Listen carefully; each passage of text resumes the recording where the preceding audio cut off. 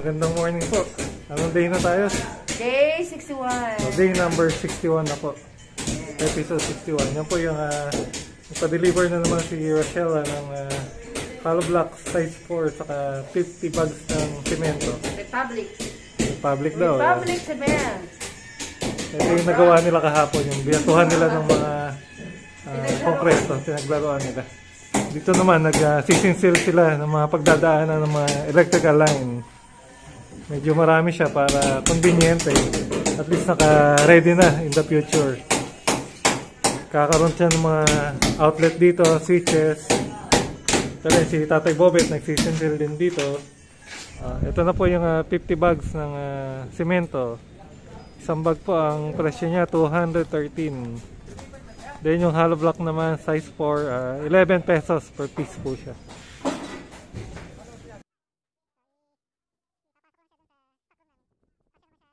Dito naman naghahalo na ng ah, semento si Paulo James. Ay, Paulo James. Nino James. Kompletada ba yan, Nino? So, yun yung mixer niya. Isang supot na semento. Tapos, 2 and half na supot din ng ah, buhangin. Para sa plastering or platada sa wall.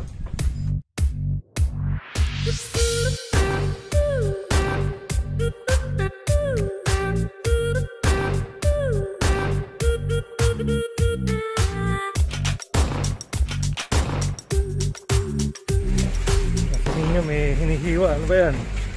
Sahara. Sa waterproofing to. Kumpang. Ihahalo to. Ihahalo to dito sa simento sa, sa buhangin. Parang powder siya. Uh, pang waterproofing to para hindi tumagos yung ah, tubig or yung leak. Po yung ah, delivery ng ah, semento saka hollow block. So ito po yung binayaran namin 50 kilos, ay sorry, 50 bags na Republic Cement 10,650 so 213. 213 or 213 pesos isa CHD number 4 100 pieces 1,100 kaya 11 pesos isa tapos 10 bag din ng ah, Sahara din sa waterproofing niya. Ah, 400 pesos. So 40 pesos ang isa. So total po niya 12,100 dito sa second floor nagsimula na ulit silang ah, magplatada or plastering ng wall. JR ang uh, tumitira. Tapos dito naman si Ray, binabaklas niya yung mga forma ng kahoy. Medyo mahirap kasi dumikit na siya, hindi agad natanggal eh. Ah, Tatagal-tagal niya yan. Ito yung sa portion ng ah, CR eh. The same time hallway. Dito naman sa taas. Yung pinakataas, uh, paplatadahan na rin ni Randy. So ang ipaplatada dyan yung may ah, Sahara. Yung may halong Sahara para sa waterproofing niya. So bago magplatada, nililinis muna niya yung surface niya. Yung mga sobrang halo, yung mga tumalsik. Kailangan tanggalin yun para ah, hindi istorbo, saka para maging pantay. Yung ah, platada niya, yung mga yung mga sobrang ah, palaman, yung mortar ng ah, hollow block. So, tinatanggal din niya.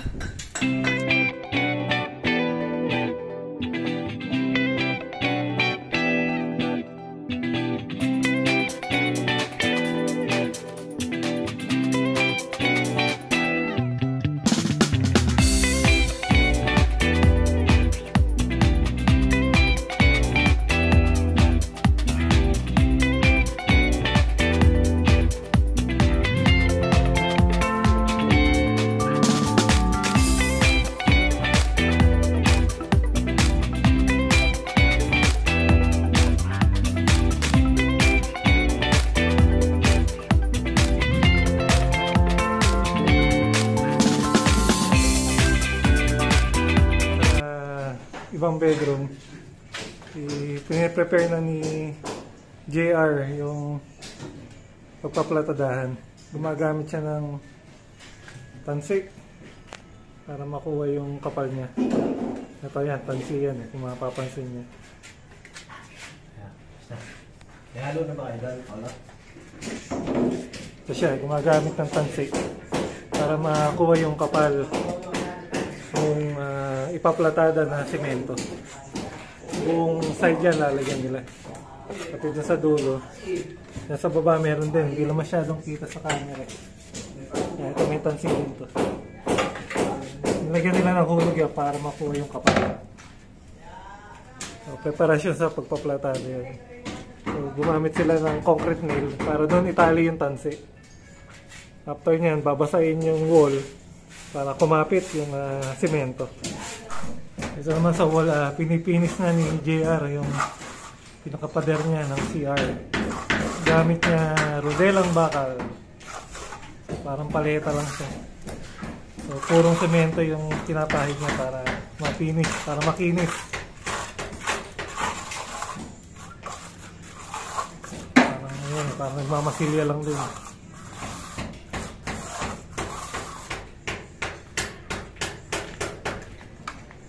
Yan, ito yung ah, purong ah, semento na binasa ng tubig. So, malapot siya.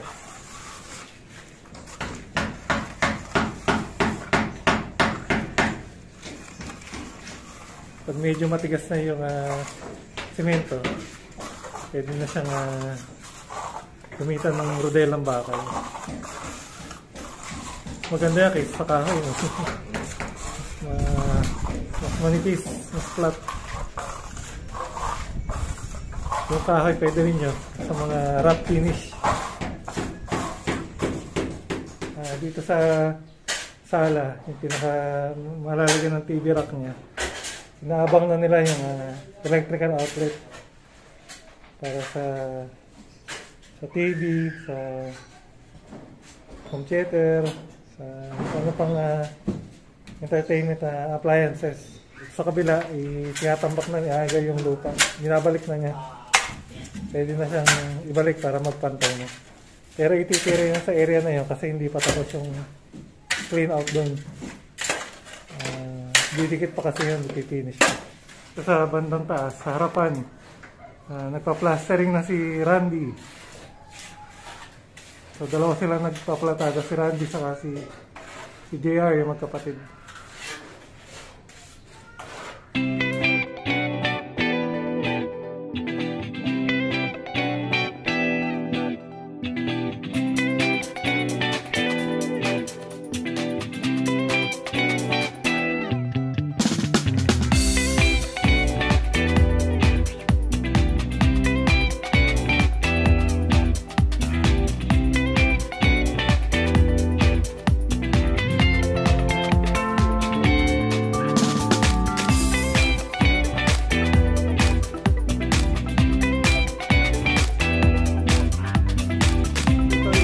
Iaakit na nila yung huling yero sa itaas.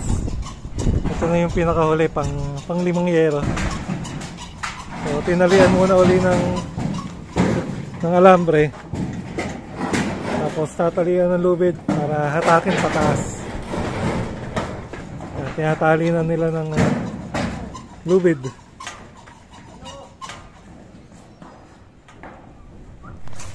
Yan, inaakit na nila punta sa taas. Makabang naman yung lapit.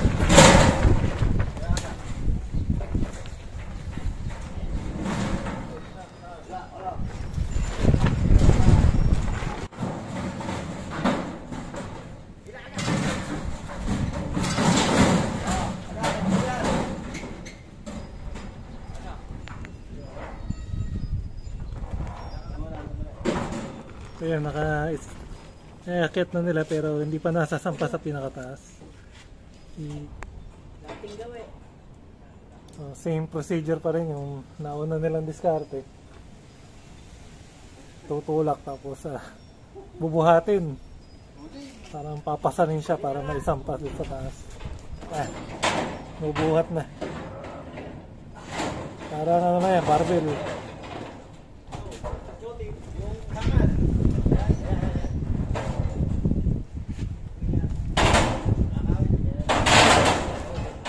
kasi ito, hindi basta-basta maiangat. Sila nakabuelo ng ayos. Yan, sinusubukan na nilang iangat.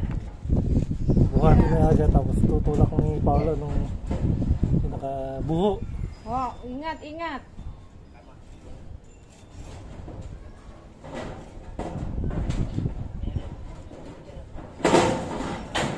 Sumadama sa gilid.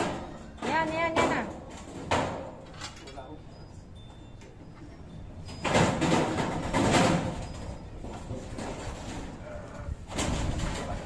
Konti na lang, yan na.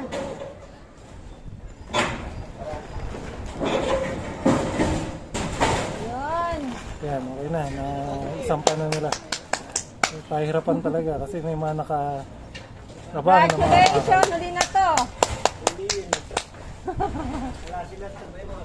So yan, ah, nilalapat na nila yung ah, yero para ma screw na siya. So yan, pinapantay lang nila ah, masakto.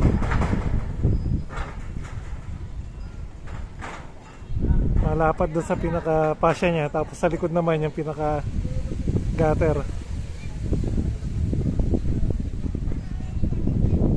So, sinusukat muna nila. Once na malapat na siya, masakto na, pwede na siyang i-drill yung yero, papasok dun sa purlin niya, then uh, i-screwhan na siya. So yan banda rito sa harapan, ini-screwhan na nila. Ewan ko lang kung kita sa camera yung mga lumulusot ng screw. Ayan yung mga tech screw na lumusot na sa purlin. So nakakapit na siya.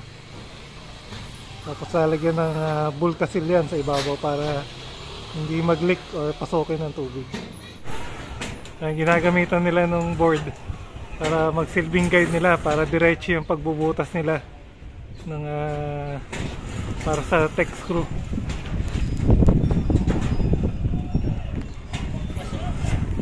Wala nang ah, hindi na sila naglinya ng tanse.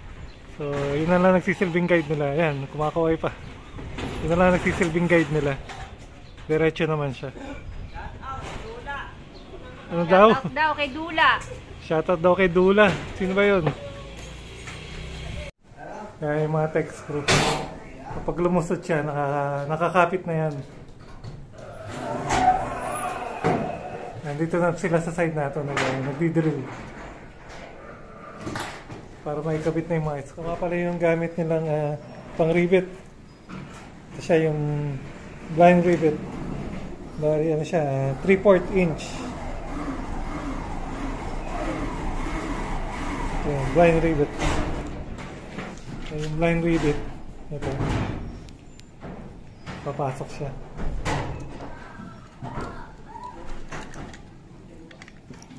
Kailangan sagad to. eh. Ayan.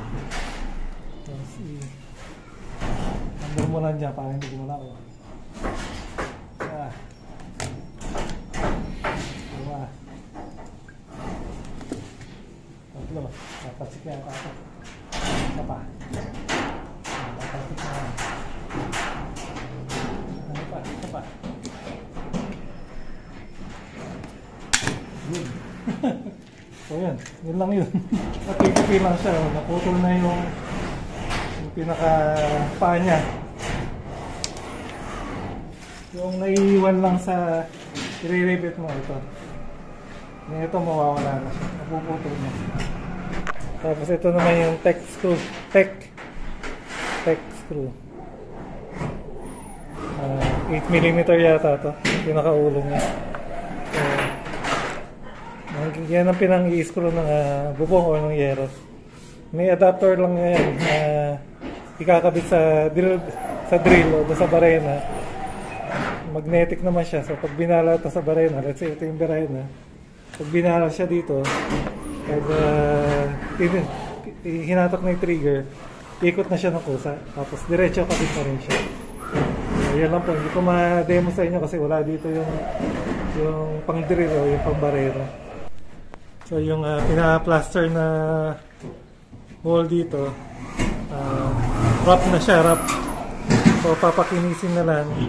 Hindi ulit gamit yung ah, purong semento. So, ipapahid lang siya gamit yung rodelang bakal. Para nagmamasilya lang.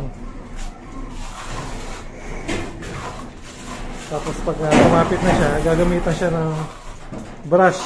Yung regular brush lang na pang ah, pintura. Para magpantay-pantay siya. Update lang dito sa baba. Yan na, ikabit na nila yung mga utility box para sa power outlet.